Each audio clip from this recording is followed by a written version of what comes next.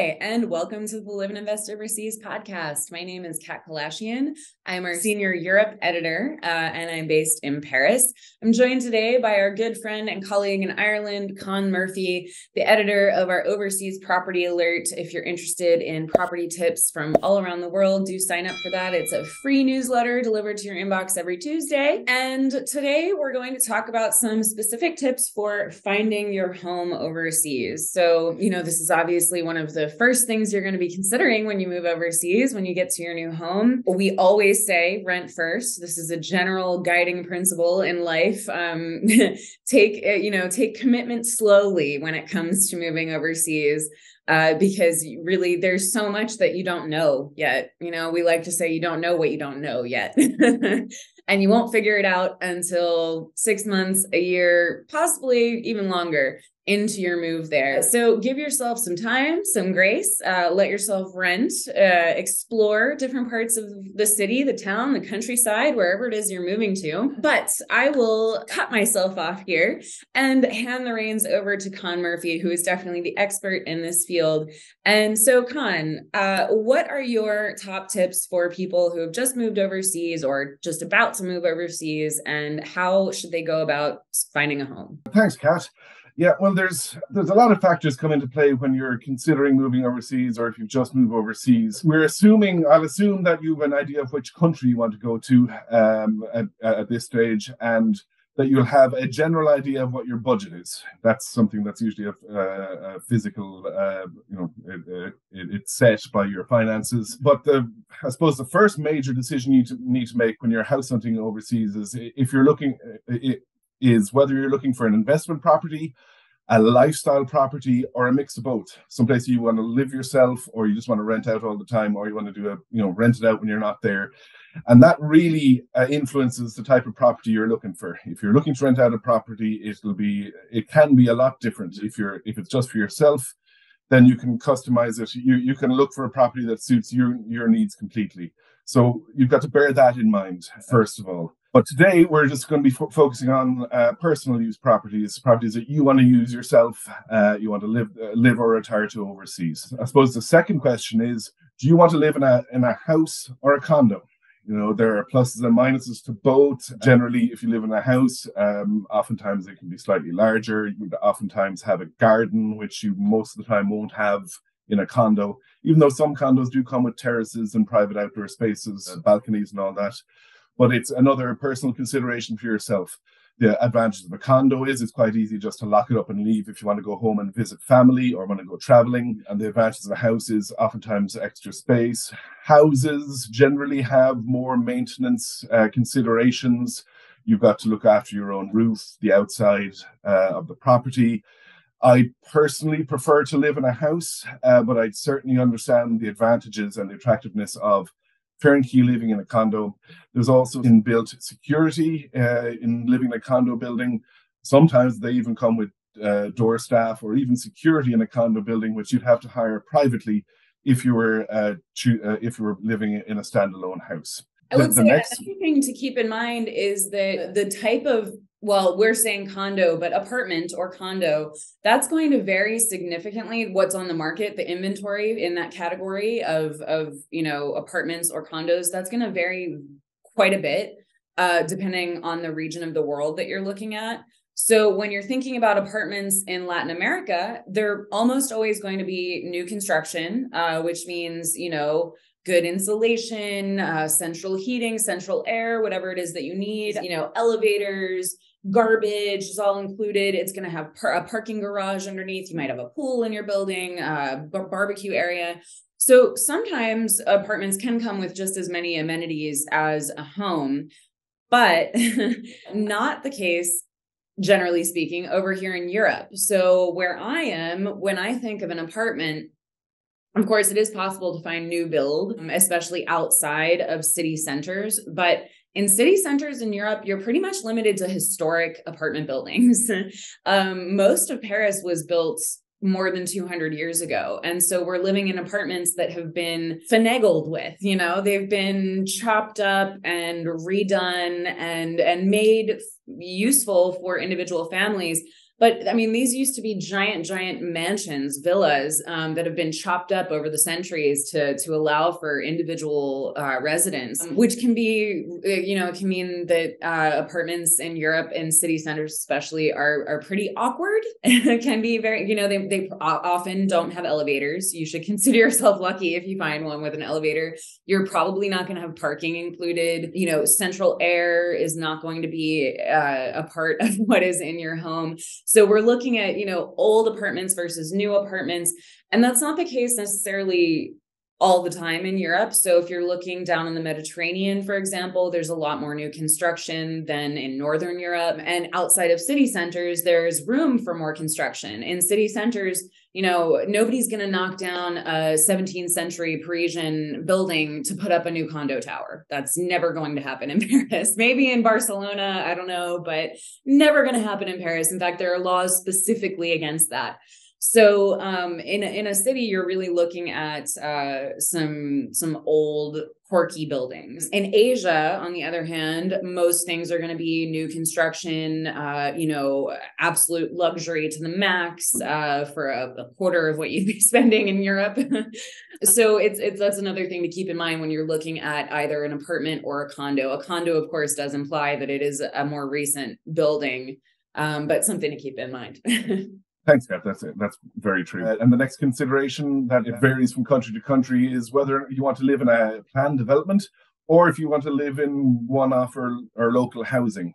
There, are similarly to condos and houses, there are advantages and disadvantages. Some people, especially in Latin America, expats tend to to like to live in developments where they're around similar people. There is kind of a community feel, whereas uh, that that isn't exactly uh, usually the case in Europe, as Kat, uh, mentioned, uh, with uh, apartments or condos. One-off housing. Yeah, I I personally liked uh, when I was abroad, living in amongst the ordin- ordinary, in, not in a planned development, being around people and all that. But it certainly can have its disadvantages.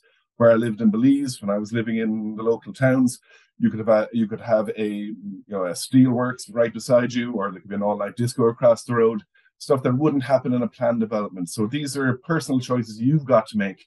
How immersed in the local lifestyle you want to be, and how much noise and peculiarities you're you're willing to put up with. That's a personal decision for yourself. And the last one of these, just uh, tick the box considerations, is: Do you want a new property or a resale property? New properties generally uh, you won't need maintenance for several years, years or or even longer than that resales, oftentimes you find that resales will reflect the true market value of a property in uh, in an area. They're, the price isn't set by the developer; it is set by the market. But resales obviously can be older properties that could have maintenance issues, uh, hidden defects you don't know about till after you've bought it. So these are de- definitely things you need to be fully aware of yourself before you get into it, and you have to be able to deal with the consequences if something goes wrong. And uh, usually, um, if you're buying something new, a tax is going to apply that doesn't typically apply to a resale. Isn't that right? Yes, uh, oftentimes in most countries you'll get a, a sales tax or VAT, VAT, as, you, as it's, called, it's called in other, in other countries that a developer has to pay because he's selling it to you as a business. So that can oftentimes tip the price up higher and then when the resales comes around, well, oftentimes it might have appreciated, but sometimes it doesn't. Sometimes people sell it on without the VAT and it can be slightly cheaper. So it really depends on the market, but it's cer- certainly something you need to be aware of. On the All other right, hand, so- when you buy a resale, there's often a transfer duty or a, a, stamp duty. You know, it has a lot of different names all over the world, I guess. But I, I just trying to point out the different uh, the different differences. but do you actually know would uh, would a stamp duty or would a transfer of title duty um, be kind of on par with the VAT in most cases, or would one be more than the other usually? Well, it it, it depends from country to country. Usually, there is always a a, um, a transfer tax, but if it's if you're buying in a government incentive area, if there's tax incentives for new developments in an area that, that, the local government want to promote.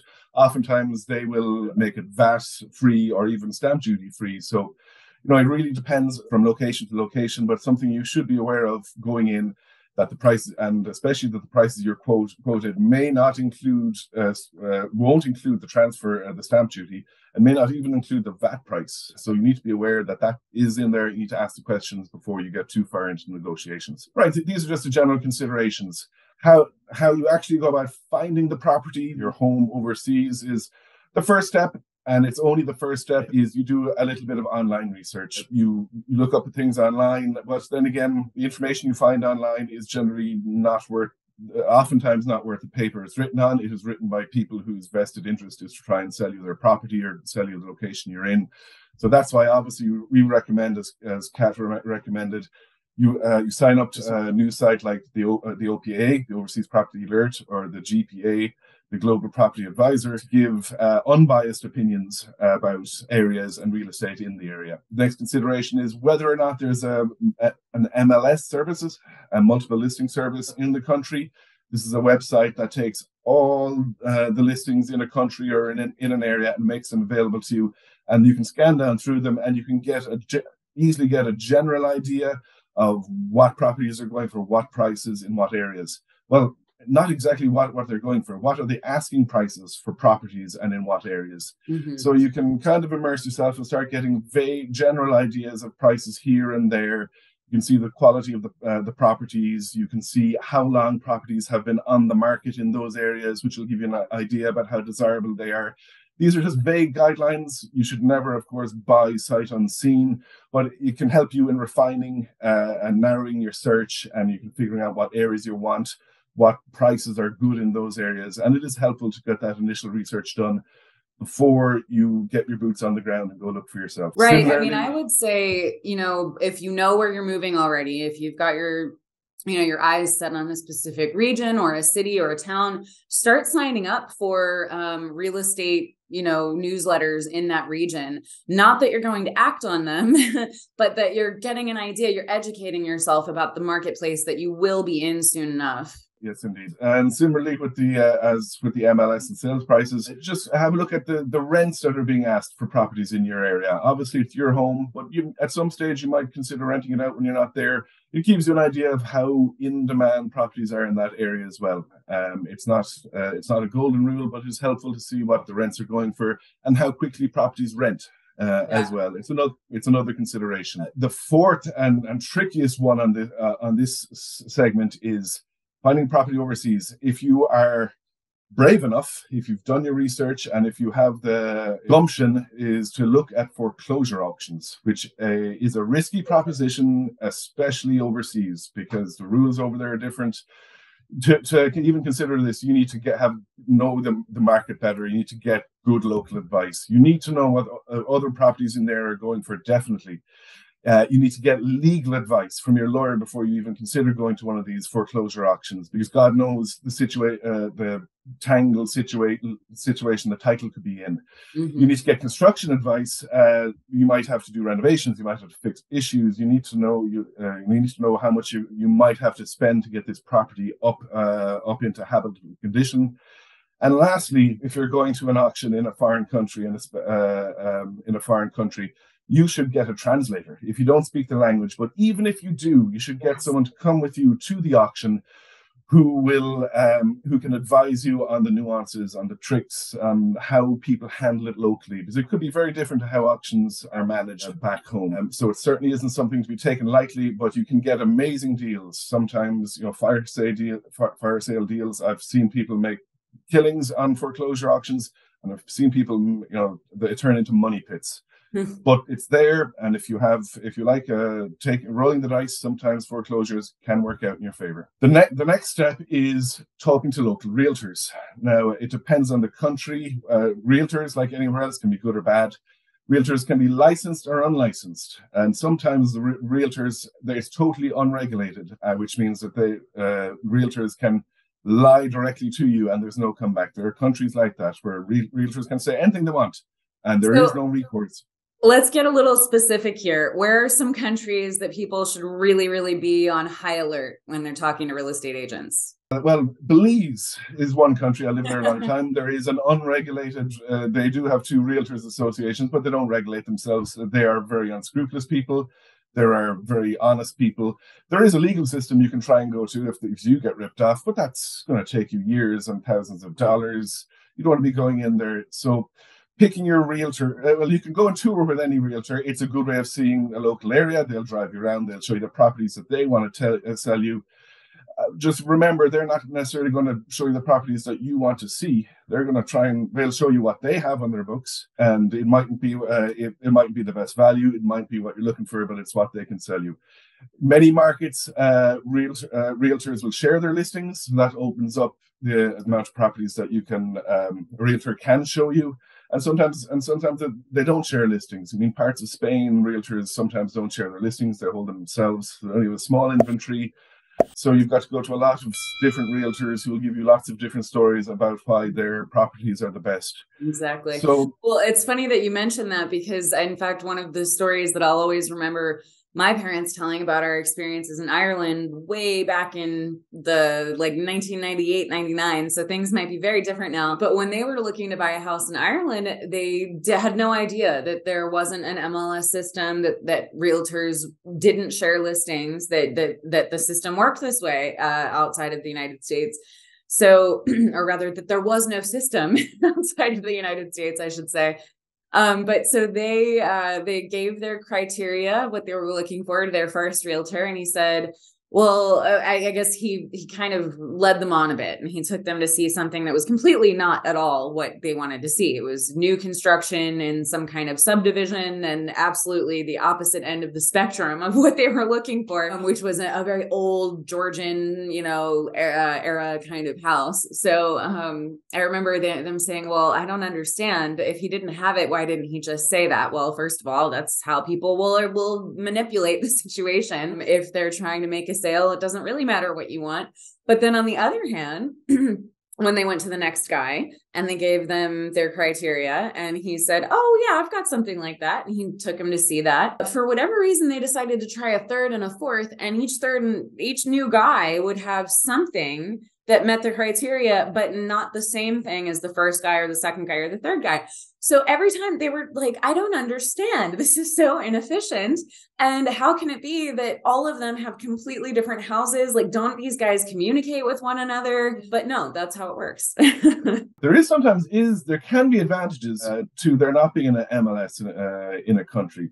Uh, it takes you a lot more time but because it isn't, isn't as easy to compare prices online, you can sometimes find mis, mispriced properties, properties that are actually listed at lower than the going rate because people don't can't tell what the comps are around them. So sometimes there is advantages, and that means if you have the time to go uh, and check 20 properties, 30 properties to try and find the ones that are mispriced or priced lower than the rest. But uh, that's just the peculiarity of the market. The next step, after you've been around the realtors, before you make any decisions, you should drive the areas yourself. The realtors won't take you to all the spots. You drive around, you see an area with the realtor that you that you like. You go back later and you drive around yourself. You look for first for sale signs on on properties. And in many places, especially in Latin America, people will um, will try and sell their properties themselves. They won't even be listed, be uh, unlisted properties. You go around, uh, you get phone numbers, call the phone number, you ask to meet them, look around the property. Sometimes you can. Yeah. Sorry, well, this is another place where you're going to need to figure out the language barrier if there is one. So this is another good instance when it pays to have a local friend, or I mean, a translator is great, but a local friend will be, you know, that much more supportive and and helpful at giving advice. But at the very least, you've got to have somebody on your side who can, you know, you can jot down all these phone numbers, but then when it comes time to make the call um, especially if you're, you know, like it, let's imagine, let's take the Ireland example again. Uh, you're, you know, driving through the countryside and you see a, a, sign on the side of the road and it's just a bunch of fields, you know, and so you could be talking to a farmer who not only isn't speaking your own language, but really isn't speaking your language in a larger sense as well if you get my drift. So you're you know you're probably a person who's had some experience at buying and selling properties in the past. This farmer may have never done any of that in his life and all he wants to do is get rid of these three fields full of cows. And even though you may be speaking the same language uh, you know, there's going to be a barrier there, a culture barrier, um, you know, a, a bigger barrier than just language. So, oh, um, absolutely, and that's a very good point. I nearly forgot, Kat. Whenever I'm doing this, whenever I'm driving around, I take down the numbers, and obviously, I don't call it myself because when people hear an English accent in a, far, in a, foreign country, they'll sometimes double the price. Yes. So, what I do if I don't have a, a friend, I, I pay a, uh, I pay my, my barman a tenner yeah. they call these numbers, get the prices from them. At least yeah. then when you turn up, uh, you turn up, they don't just double. It's called a gringo tax. It's when people jack up the prices as soon yeah. as they see their big, you know, big blonde head coming around the corner. On the other uh, hand, in Europe, sometimes people just don't want to deal with foreigners. We're too much work. We're a lot more paperwork. We're a lot more liability for them uh, they just don't want to deal with the hassle when they could just hang up the phone and wait for the next call from a French person. I'm here in France, so I'm using the France example. But even in renting, you're going to find that. I found I every time I would pick up the phone, uh, about a rental back when we were looking uh the guy whether it was an agent or the actual uh, homeowner or landlord whatever they would hear my accent and immediately say well do you pay taxes in france? And at the time i was on a visa that didn't have me paying taxes in france but that means that i was a lot more work to them and they weren't going they don't want to think outside the box so for them, it's easier just to check all these things off that they know that they're very familiar with, and it seems very easy to them. Whereas with me, even though you know, it's not as though I wouldn't be able to pay my rent uh, just because I'm a foreigner, just because I'm not paying taxes here and paying taxes there. But it's the paperwork. I didn't fit into their little boxes, so they literally would just hang up the phone on me. the next consideration should bear in mind is uh, if you're buying into a subdivision or a condo development, is there a strong homeowners association in place, but not too strong? You need a homeowners association that has got uh, that will make sure the, property values aren't damaged by cra- crazy tenants or people letting the place fall down around them. But you don't want the tyrannical ho- homeowner, homeowners uh, situa- associations like you hear back in the states where they dictate everything you can do at your property and when you can come and go from your property all this craziness. They're coming uh, over uh, with a ruler to measure uh, how high yeah, your grass and, is. and, and, fining you and things like that. You hear horror stories. You need to make sure the homer uh, the hoa collects enough dues so that may, uh, upgrades to the pool and the roads and all this kind of thing can be done, but not too much that it's going to cripple you financially paying all these crazy dues. Uh, so you know there needs to be a balance but it's an important factor you need to bear in mind. Similarly to that, you need to know is there property management or rental management available if you leave and you want to rent it out, or you, uh, you know, will you, is there will you easily be able to get it maintained when you're there? Well, these are all considerations uh, uh, uh, that factor in. Does the HOA or does the town you're buying in allow uh, short-term rentals? Maybe you'd want to rent it out when you're away, you know, on Airbnb. Some cities you can, and so, uh, some and you can't. And similar with HOAs, they won't allow you to do short-term rentals. They don't want tourists traipsing around the building. So these are all things to bear in mind. And one of the most important ones, and I made this mistake myself now, is before you buy a property, knock on the doors of the uh, of the properties on either side of you and meet your neighbors because this can be a really big problem. Sometimes uh, hopefully they're lovely but if they're real pranks it can make your life hell. They can some people so just at least do do that. Meet your direct neighbors and ask them if they're nice. Ask them what's everyone else like? You know is this a nice place to live? You know is how what's it like? And people will generally be on be honest with you and they'll give you advice uh, and tell you what's going on and, and it's very helpful and actually, uh, that's a great. One that I wouldn't have thought to bring up. But right, uh, culturally speaking, neighboring, being a neighbor to someone can mean vastly different things depending on where you are. So um, I know I've heard some of your stories from Belize, and I think Belize is quite similar to Panama in this way. So I'll tell the story of another friend, not you. You can tell your own stories. Another friend living in Panama, way out in the middle of nowhere in the Azuero Peninsula renting a very local style house, basically a cinder block house. Um, you know, it was a, a, nice house, very livable, but very, very basic local style house in a local style community with, you know, local neighbors on either side. And uh, this couple ended up becoming quite friendly with one of their neighbors who I think had two, possibly three small children.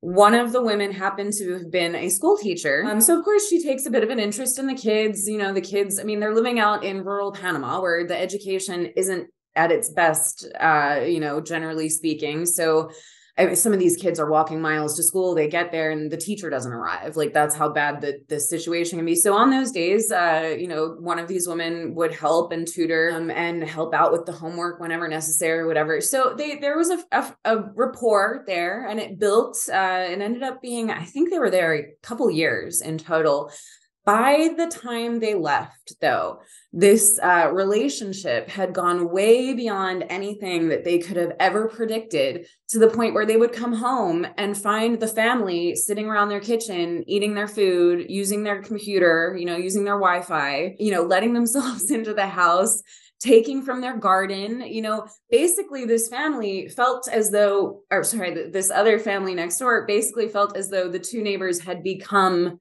actual family. You know, it, it, your your home is my home. Mi casa es tu casa. That is not a metaphor in some cases. Um, whereas on the opposite end of the spectrum here in France, I have talked to uh, exactly one of my neighbors because we had a leak that affected her and we needed to sign her insurance paper. Mm-hmm. Other than that, I don't think I would ever know. I don't even know who lives above me. You know, I don't think I would recognize half my neighbors if I saw them on the street. Here in France, neighbors are it's like kind of like in New York. You're they're best kept as as distant as possible. It's weird if you become friends with your neighbors. Very true, very true. And the the other and another similar consideration is your neighbors. If you've no neighbors, are there empty lots around you? Is is your is there an empty lot in front of you? Are you buying a lovely ocean view? And are they going to build a? If there's an empty lot in front of you, does that mean they can build a condo building in front of you? So you'll be looking at the back of someone's uh, house uh, next year. So you need to be aware of your surroundings, definitely.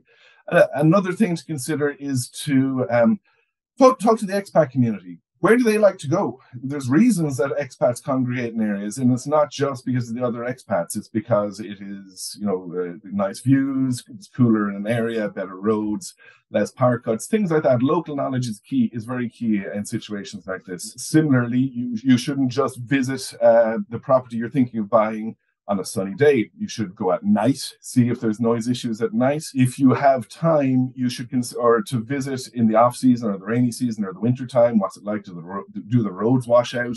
If you don't have time to visit or wait until it is uh, rainy season, ask people what's it like because I've lived places where there was lovely roads during the summer and there was mud, there was mudslides during the winter, and you couldn't get home. No, all these things need to factor in. Obviously, these considerations are more uh, in the less developed developed countries. But, Not necessarily, yeah. though. It's the same if you're living near the Pyrenees or the Alps. Here, there are going to be roads that ice over that are inaccessible oh, yeah, in winter. Yeah. You know, these are all things that you've got to think about. Uh, yes, uh, definitely. And similarly with the areas, you need to um, obvious things you need to be aware of is how walkable is the area? Is there public transport in the area? If you don't have a car, is there an issue? Is it safe to walk around at night for you?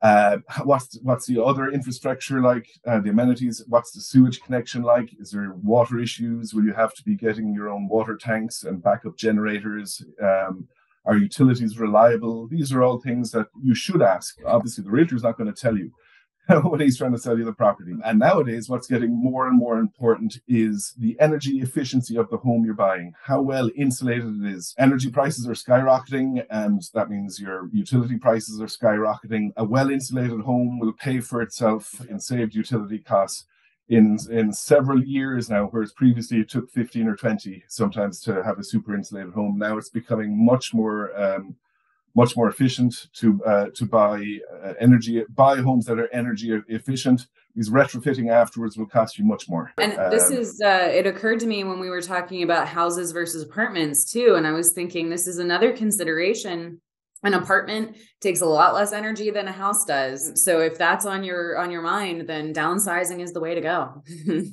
Yep it does it does indeed uh, it does indeed.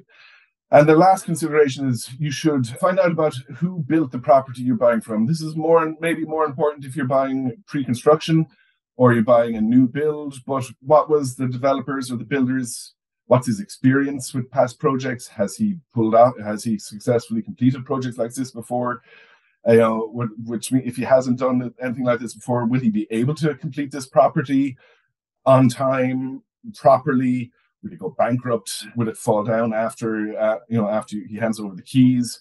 Does he have the resources to fix it if there is is- issues down the road? Uh, you should obviously ask around locally, but have your lawyer ask uh, in, uh, ask to check the court filings. See, has this builder been sued? You know, how many times has been sued? What he's been sued for? Is there a bunch of pending court cases against him? Because all these things could either bode badly for your property in future, or the entire development could collapse and be left half built because he's just been sued out of existence because he's unreliable or just doesn't know what he's doing. Similarly, has the developer met his milestones to date? Did he start this back in 2010? saying that it was going to complete in 2012 and then 2014 has he been pushing back the milestones has he um, has has he been promising that the community center or the the pool will be built for the last five years but he's never done it? You can find out about this by sometimes by doing research online but the best thing to do is ask locally around uh, the development. That they will know what's happening whereas you can change the information that's online. Ask uh, the other people in the surrounding areas how long has this been going on? You know how long has been talking about you know building that uh, that gazebo for the residents all these type of things, it will give you a great indication of what are the chances of this guy actually completing what he said. Similar to this, you need to be very aware of what's called um, hand-to-mouth infrastructure development. This is where the developer doesn't do, uh, he starts building houses, but he never puts aside the money for any of these amenities he's relying on future sales to build the amenities. So this ties into buy what you see. Is the developer going to ever going to build any of these amenities, um, or will he just end up, or is it likely that he'll just take all the money he's promised that he will spend on the amenities and pocket it and disappear once he's made his profit? It's something you definitely need to know. When we say buy what you see, we don't mean that you shouldn't buy pre-construction just because there's nothing to see you know just because it's a lot without a home on it. That doesn't mean that you shouldn't buy that. That's to say you should buy you know the value of the air is what you're buying you know? You're not paying for a fully constructed property with amenities and an HOA and everything. No you're buying so far in advance. And so the value should reflect the fact that there's nothing there. And as the building progresses, the prices will go up and up and up. And that's perfectly normal. That's the normal, you know, uh, path of progress for a, a pre construction building. Um, so it's not to say that just because there's nothing there yet, you shouldn't pay anything for it. It's that you should be, you know, the value should reflect what what is there and what isn't. Hundred percent, you're right. It's yeah, the discount you're getting for buying in the middle of the development should should be enough that if the developer, if the builder does run away and never builds a swimming pool, are you happy that you still got a good deal? Did you right. get 30, 20, 15% off the price so that you can live uh, yeah, so you can live without it? Or do you have enough money aside to build yourself? Uh, do you save enough money so that you could build yourself a small little pool on your own property with the savings if it doesn't happen? Mm-hmm. So yes, you're very correct, Kat. That's uh, that's a very important one too. Anything else that people should know? Just just a couple of things that pop into my mind now that we're coming to the end of it. When people talk about buying on the path of progress, this would be way back when we were considering the general areas you want, mm-hmm. which means uh, look at an area and see what way it's developing. Because obviously, if the pro- if people are developing in a certain area, land values tend to rise in the direction that the the, the, the, the development is going. But not all people want that. If some people want a, a, a retreat, a secluded nature, a, a, secluded area all to themselves, and so some people don't want to find the path of progress. They want to be on the other side. They want to be away from the path of progress because they they don't want to be to be built up all around them. So these are things you you, uh, you should be aware of. Which way is it going, and do you want to be in front of it or do you want to be behind it? Yes, and that's. I think that's. Uh, let me see now. Is there anything else we have left out there? Oh, I suppose we haven't really mentioned you want to buy in an area that you you like the area. If you night if you want nightlife, it should be a consideration. Do you like the nightlife or the restaurants and bars? Your type of restaurant and bars, you know, is I wouldn't recommend on age profiles and things like that too much. But you know, is it your type of area? Do you think right. you'll be happy li- living there long term? Because a property should really speak to you, but the area should speak to you more, I think, mm-hmm. because this is this will be where you'll be this is where you'll be living long term. It's not something you can't change the area without selling, moving, uprooting everything. So that should be the consideration. Walk around the areas, meet the people, see what the locals are like. Are you greeted with a smile? Is it a frown? Is it a grunt? Uh, you know, th- th- these are all things you, you should spend the time beforehand, you know, evaluating you can't change it afterwards. You're not going to change your community, uh, or if so, it'll be a long, long, hard uh, slog to do so. After you're long gone, maybe. Yeah, after you're long gone, or maybe even uh, um, in the ground, maybe things exactly. will change. But yeah. So, so you need to be very happy. You need to love the area you're in.